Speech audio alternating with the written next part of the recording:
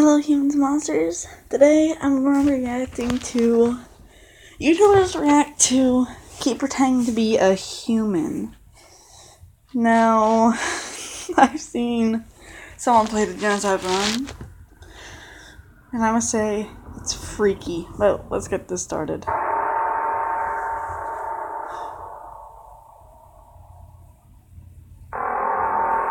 The oh. Oh, that was weird. And I was- Well, straightforward with you. My brother'd really like to see a human, so, you know, it'd really help me out if you kept pretending to be one. He knows. If you keep pretending to be a human, but not really. Also, remember how Sans like goes one way, but that always ends up in the other direction? It was like, let's go to Grillby's. He went to the right, but ended up on the left. Anyway, that's one of the reasons why he's so cool. Because One of the reasons. Sans is not normal. He's not like a usual character.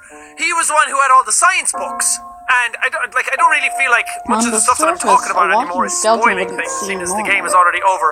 But it's implied that Sans can teleport because of that. Yes. 16 left. Oh boy. Ooh.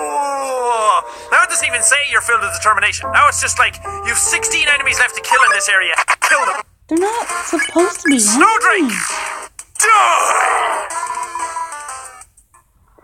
Where's the skeleton puns? Dude.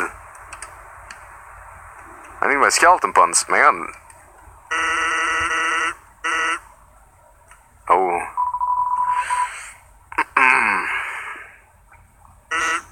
Well, I'll be straightforward with you. Mother really like to see a human. So, you know, it'd really help me out if you kept pretending to be one. Okay, I'm gonna stop there. Does is rather creepy. See you guys later.